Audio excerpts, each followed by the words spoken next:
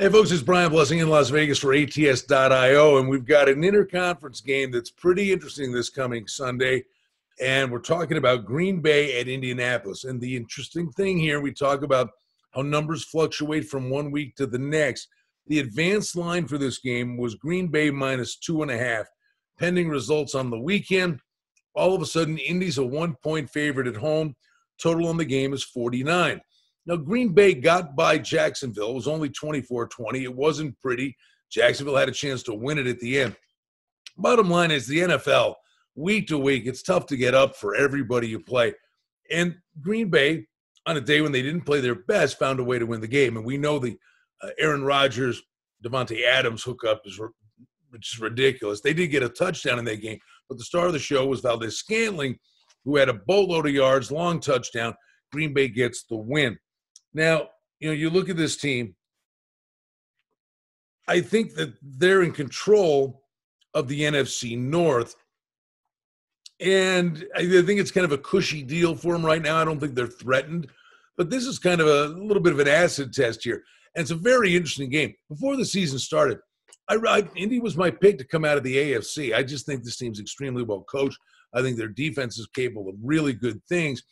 And I was going to give Philip Rivers the benefit of the doubt. I've never been a Philip Rivers guy, but it stands to reason going to a new team after so many years with the Chargers, it would take a while and they'd get better and better and better. You know, the thing with them, I don't know that you really had say they have any real marquee wins, albeit uh, the game against the Titans a pretty strong effort. 34 17 is the final score. Their running back by committee, Nyheim Hines, is just a real threat out of the backfield and actually ran the ball pretty well in that game. They'd love to get T.Y. Hilton back and really develop a rapport with Rivers, but with injuries, that's just not happening. But watch out. Indianapolis, a team I think is going to find their groove and a real stride. And at this stage, I think it's a pretty fair thing to say that the AFC is better than the NFC. So you watch these interconference games, and I wonder if that's not a little bit of a starting point here and that big fluctuation in the number. Don't forget, you know, Indy gets the win, but they get extra time to prepare for Aaron Rodgers, and that will do nothing but help Indianapolis. Uh, listen, weather's not an issue here. This game's not in Green Bay; it's in Indianapolis. So Rivers and Rodgers, uh, two of the old guard now that are capable of slinging it all over the place. I think you're sitting here looking at a total of 49, and I do respect mightily this Indianapolis defense. But I think Rodgers, he's got Jones back in the backfield. I think this is a game that goes up and down the field a little bit.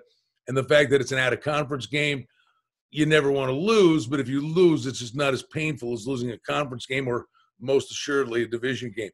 So I think the two quarterbacks are going to have their fun here.